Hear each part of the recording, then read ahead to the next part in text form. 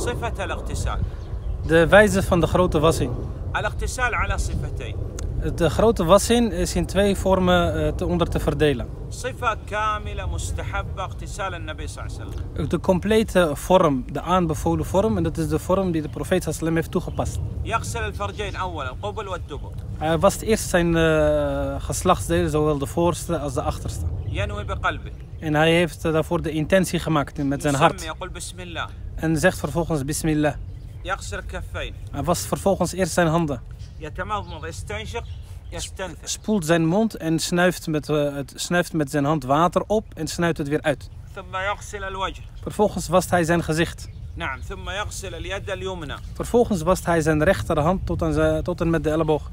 ثم اليسرى. فرفوخ لينكر ارم توت مت البوخ. ثم يغسل الرأس يرويه بالماء مع الأذنين. فرفوخ بست هاي زين هوفت ان نيم ذا مي زين أورا.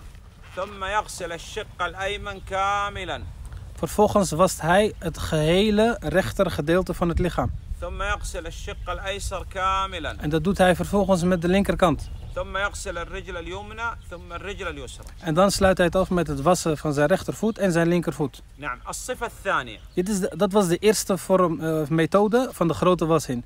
Nu de, de tweede methode geldt voor hetzelfde om eerst de intentie te maken.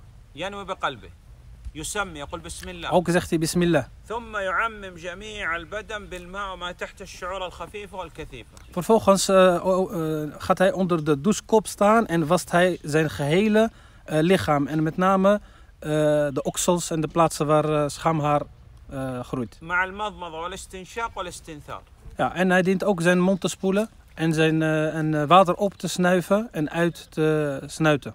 ويخرج بهذا ويصلي لا يحتاج يتوضأ والله أعلم. إن هي ما كان هاي تخبيت خان فريختن أو در نيت نيت نوخ كير دو الوضوء تفريختن